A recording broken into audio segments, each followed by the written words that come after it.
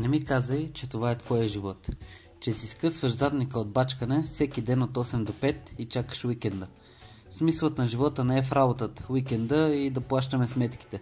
Не сме създадени за това. Както аз, така и ти имаме мечти. Мечти, идващи от сърцето и душата.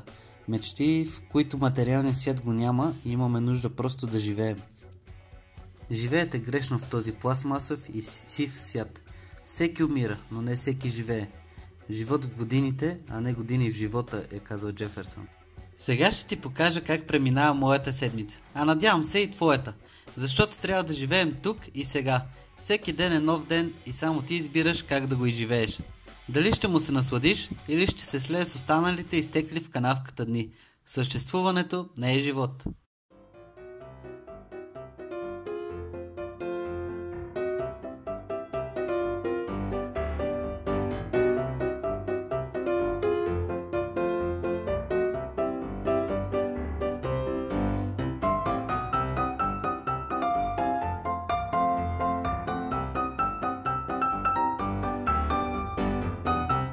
Ние не избираме мечтите си, а те избират нас. Въпросът ми към теб е, имаш ли смелостта да грабнеш мечтата, която те е избрала и която ти подхожда? За какво мечтаеш? Какво запалва онази искра? Не можеш да се върнеш и да създадеш ново начало, но можеш да се събудиш сега и да създадеш нов край. Ми става навик като ходя в чужбина да си вземам вана, но днеска е 10 март и по случая 8 март реших да направя подарък на майка ми на нашите, в частност на майка ми, и ги заведахме до Сърбия. Както виждате, настроението и това вече е окей.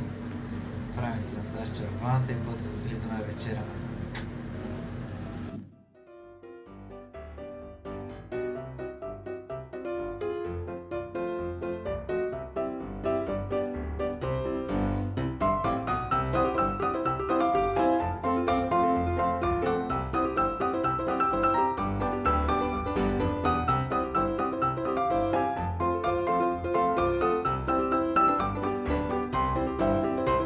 Най-потискащото е, че всички сме едни и същи.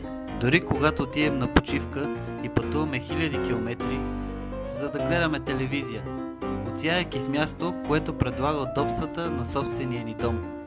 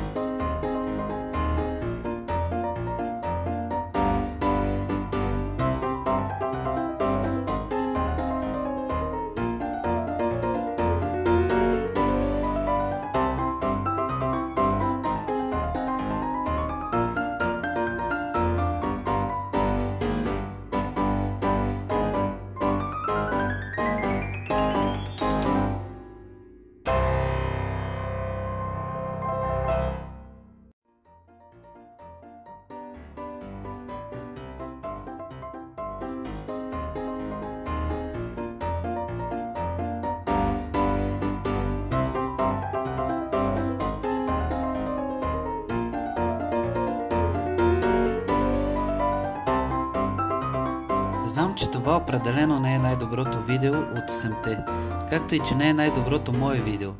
Но те моля да го харесаш и да ме подкрепиш и заедно да направим най-доброто видео в моя канал. До нови срещи!